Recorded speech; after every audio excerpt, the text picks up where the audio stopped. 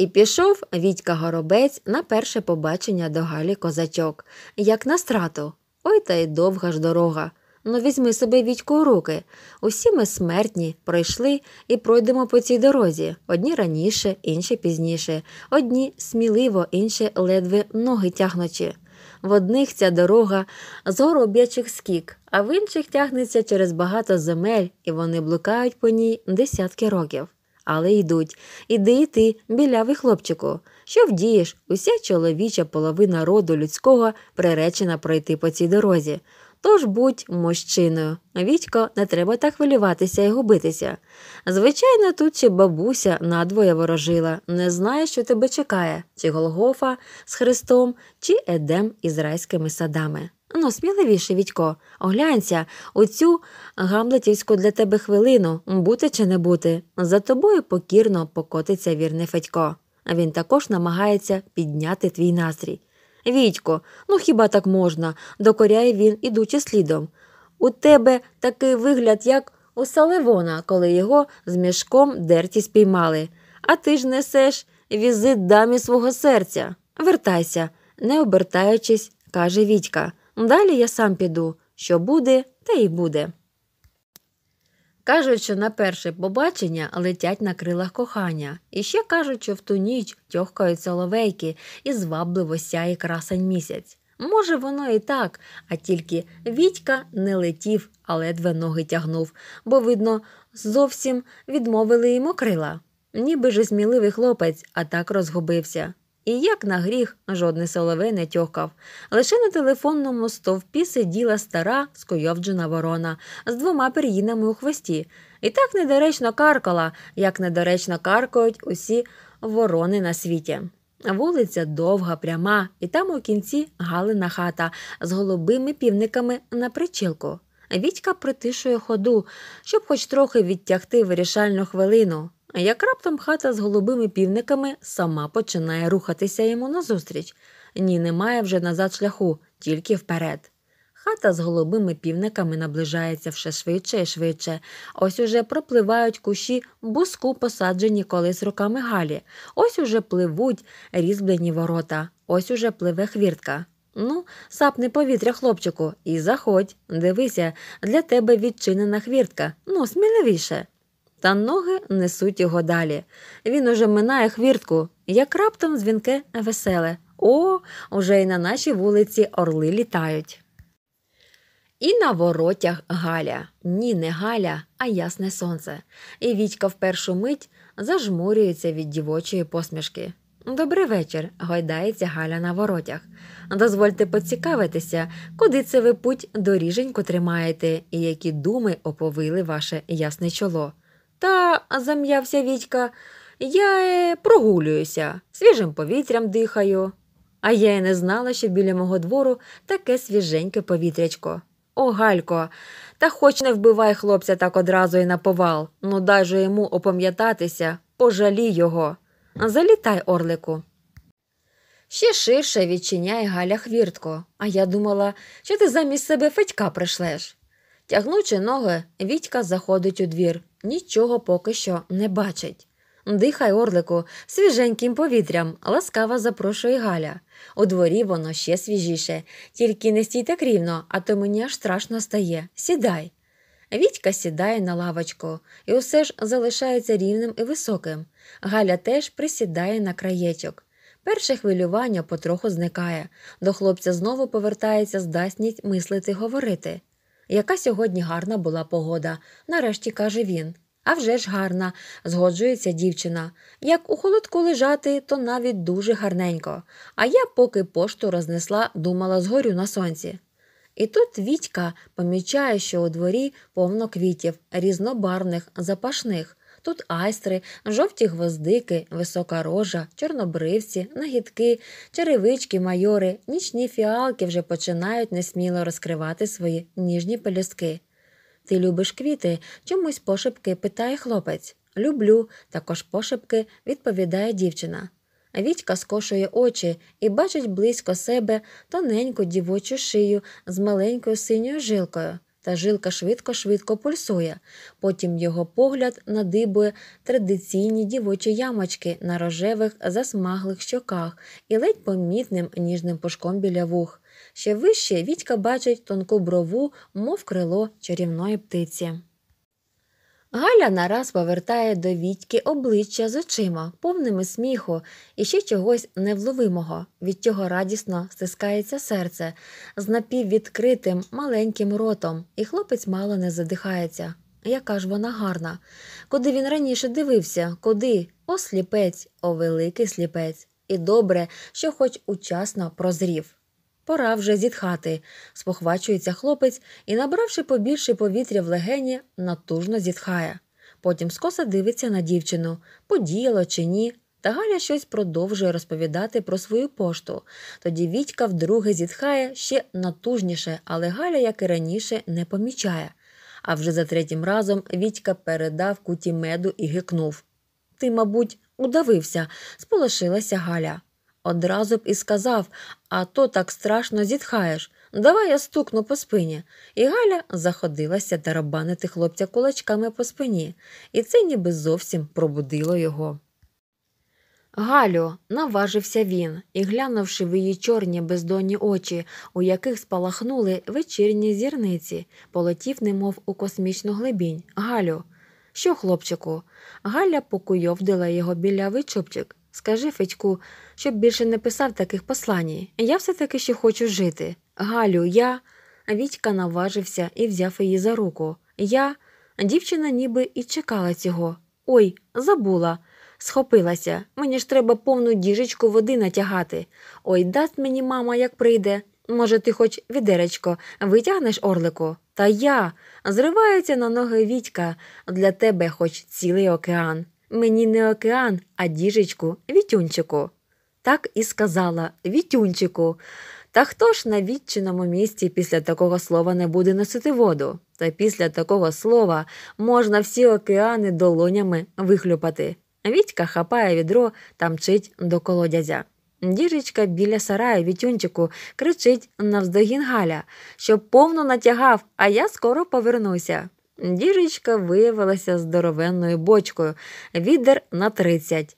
Але що вона означає в порівнянні зі словом Вітюнчик? І Вітька заходився з такою енергією і таким запалом носити відра, що із землі під ногами не чув. Правда, після десятого відра запал трохи пригас, і хлопець, сівши передихнути, з жалем подумав, чого було не запросити на таке рандеву і Федька. І тільки подумав, а Федько вже за воріт виглядає і пошепки запитує Ну як? Удвох робота пішла значно жвавіше. Федько витягував відра високим скрипучим журавлем, удвох виважували його на зруб. Вітька виливав у діжечку. Так витарабанили і вилили ще 15 відер води. Я й не підозрював, що кохання таке важке, зітхав Федько, тягнучи двадцяте відро. Через годину, коли приятелі стомлені мокрі і стогоном доливали останнє 33 відро, у двір упорхнула Галя і весело заторохкотіла. Ой, спасибі вам, хлопчики, приходьте ще й завтра на рандеву, я буду рада радісінька. Федько скоса поглянув на діжку і здригнувся. Спали хлопці, як мертві, а Вітька всю ніч бурмотів Тягни, тягни, Федько, та не хлюпайся. О, зміюко лукавая. Другого вечора Вітька рубав дрова в Галі козачок. А що він мав робити, коли, прийшовши на своє друге побачення, застав дівчину за прозаїчним рубанням дров. Не міг же він сидіти, склавши руки, і спостерігати збоку, доки Галя впорається з цим нежіночим ділом. Спасибі тобі, Вітюнчику, заторохотіла, даючи хлопцеві сокиру. А я думала, що замучусь із клятими дровами. Ти справжній мужчина, Вітюнчику. Вітька горобець в одну секунду злетів на сьоме небо і затанцював там від радощів. Подумайте тільки, Галя назвала його справжнім мужчиною. Та хіба хто відмовиться рубати дрова, почувши оці слова? Галя, як і першого вечора, куди зникла, та Вітька того не помітив. Він рубав дрова натхненно, наче пісню співав.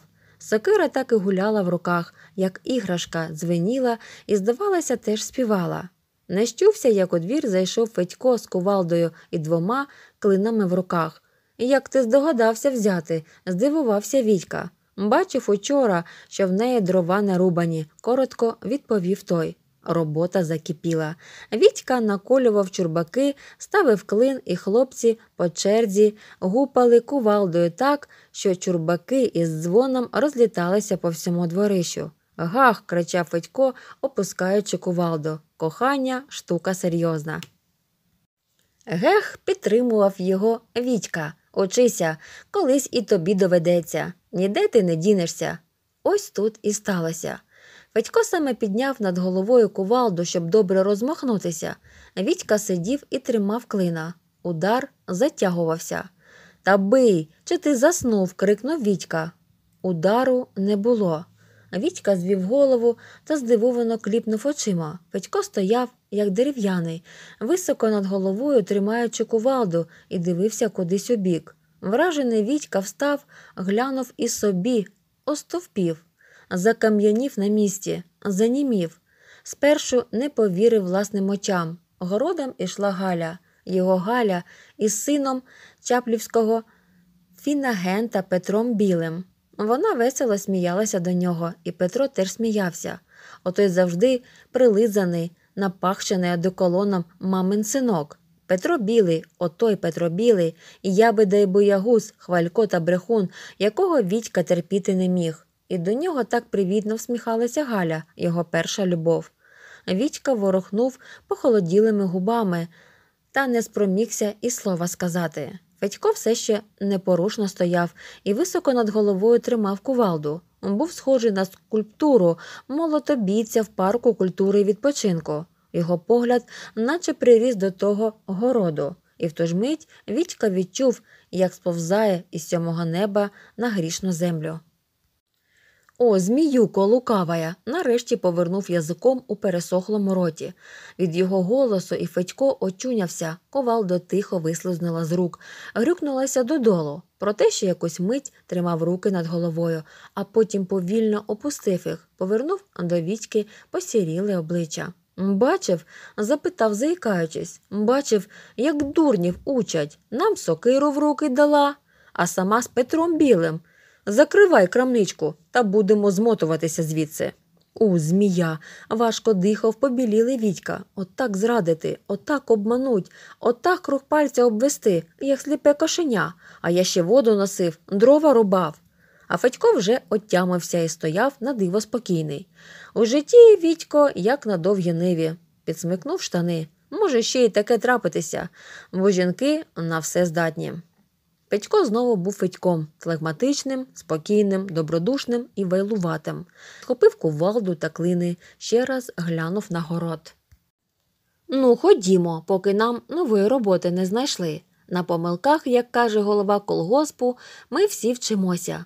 Вітька вискочив із двору, наче окропом ошпарений. Тепер він уже спізнав усього перше кохання, перше побачення і першу зраду. Це ще пхі, філософствував Федько, несучи кувалду і клини. Он у дядька Гаврила було вже троє дітей, як він застав свою милашку біля стіжка з кіномеханіком. Ото була історія. Кіномеханік рачки поліз від того стіжка і цілий місяць кіна не крутив, то що й говорити. А згадай козака чаплю, це ще більше постраждав бідолаха через жінок. Що мав на увазі Федько Котигорошко, згадуючи козака чаплю, ми зараз повідаємо. Кажуть, що на місці нинішніх чапель був колись хутір запорозького козака Данила. Добрий був козак Данило, не боявся ні меча, ні дикого коня, ні косоокого яничара. І не знав би й горя веселий козак Данило, якби не його осоружний ніс, довгий і гострий, наче дзьоб. Хто наділив козака таким недотепним носом, ніхто не знав, а тільки прозвали Данила через той ніс чаплею. Спершу хоробрий козак чапля не горював ні від носа, ні від прізвиська. Коли він налітав із Сагайдачним на кафу, громити яничар, то довгий і недоречний ніс аж ніяк йому не заважав. Та й самі яничари звертали увагу лише на його шаблюку. І все було б добре, якби чапля на свою біду не закохався в дочку шинкарки красуні Оксану. Сунувся хоробрий козак чапля до красуні, а та вкрик Ой, Леле, такий ніс, на свято ріс, а ти його, козаче, у будень носиш. Чапля поговорював трохи, визнав за краще вдарити з тилу і атакувати шинкарку, щоб з її допомогою вкоськати непокірну Оксану. Але виявилося, що штурмувати кафу було легше. Правда, шинкарка спершу мов би, і не заперечувала проти сватання чаплі, а лише сказала ніби і непоганий ти козак, Даниле, і хутір добрий маєш з усією живністю. А хто тебе знає, що в тебе на мислі? Поживемо, побачимо, що ти за іден, і тоді вже і віддам Оксану. Повеселіли чапля захотів показати себе з усіх боків. Знав, що шинкарка понад усе цінувала тих козаків, котрі днювали і ночували в її шинку. Отож чапля унадився в шинок. І чим більше він пив із приятелями, і чим більше компанії з собою водив, тим привітнішою до нього робилася шинкарка. І коли за літо чапля завоював її симпатії, то виявилося, що свататися до Оксани вже не було рації. Хутір поплив за борги прямісінько шинкарці в руки. І назвала вона той хутір чаплі на згадку про довгоносого невдаху і віддала його своїй Оксані в придане, коди та одружувалася з молодим сотником. Он як воно, Вітько було, торохкотів дорогою Федько. Хутір пропав за цю любов козака. Жінки вкрутили, а ми ж тільки дрова рубали їй, і вкрутити нас, самокритично кажучи, нічого не коштувала. Ех, нещасливе наше село на кохання із самого початку. Уб'ю. Раптом стис Вітька кулаки. Кого? Повернувся до нього Федько. Коли Галю, то дарма. Що ж, винувата дівчина, що ми з тобою такі клаповухи вродилися. Петро і води не носив, і дров не рубав, а бач, одразу ж у город, а ми кувалдами гепали. Ніколи бить, то, по-моєму, треба Петра і побити добряче, щоб не посмів до Галі і у двір здете. Може, ще і вдасться його відігнати, бо жінки, як казав дядько Гаврило, визнають того, хто їх укрутить. Я готовий, сказав Вітька, засукуючи рукави. Я йому покажу Галю, він мене запам'ятає. Підожди, не гарячися, тут треба добре обміркувати. Можна Петра застукати в темному місці і. Я не злодій, щоб кидатися до нього вночі, перебив його Вітька. Якщо битися, то вдень і по-чесному. Що козак чапля зробив своєму супернику сотнику. А що б же? здвигнув Федько плечима. Не цілувався ж, на герць його викликав, і билися вони на шаблюках. Оце по-чесному і по козацькому. Загорівся Вітька. Я теж Петра викличу на герць. Тобто на дуель, задумався Федько. Я читав, як на дуелі б'ються, і знаю правила. Оце буде по благородному. А коли хочеш і зовсім бути благородним, то бери мене своїм секундантом. А зброя де? Ну, шаблюк ми не дістанемо, а самопалів можна. Я ще підчитаю в Пушкіна про дуелі, і Петрові боком вилізе Галя козачок.